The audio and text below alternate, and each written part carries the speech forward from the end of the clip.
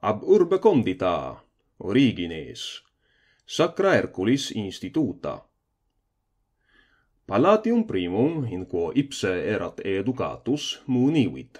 Sacra fecit di salis albanu ritu, graeco ritu Herculi, utapevandro instituta erant.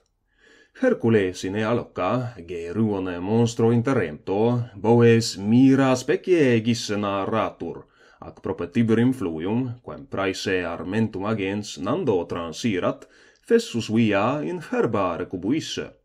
Ibi, cum eum somnus oppressisset, pastor quidam nomina cacus, ferox viribus, poes pulcherimos egregarapere, et praedain spe luncan suam abdere voluit.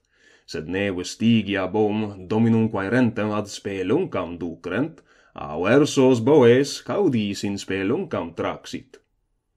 Hercules ad prima aurora e somno excitatus, cum gregem lustra visset oculis, et partem abesses insisset, pergit ad proximam speluncam. Cum vero vestigia omnia foras versa videret, nec in partem aliam ferre, confusus ad quincertus ex loco in festo armentum avigira coipit. Deinde, cum abactae boes quaedam relictas desiderantes mugirent, Moes in spelunca inclusae vocem reddiderunt, qua audita Hercules revertit, quem cum vadentem ad speluncam cacus vi proscibere conatus esset, ictus clava Herculis interit.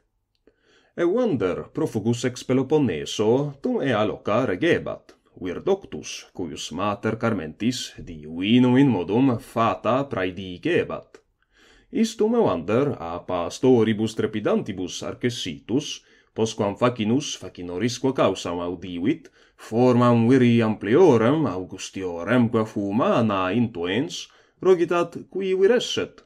Ubi nomen patremque ac patriam accepit, Jovenate, Hercules, salve, inquit.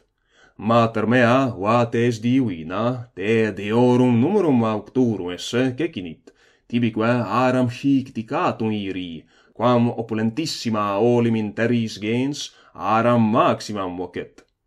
Dextra data Hercules se fatum impleturues ara dicata ait. Ibitum primum boa eximia capta de Grege sacrum Herculi factumst.